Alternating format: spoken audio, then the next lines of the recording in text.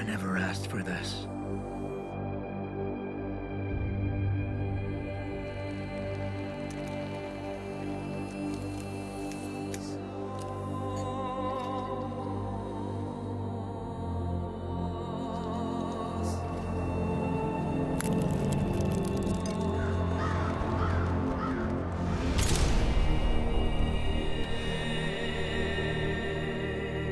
If you want to make enemies,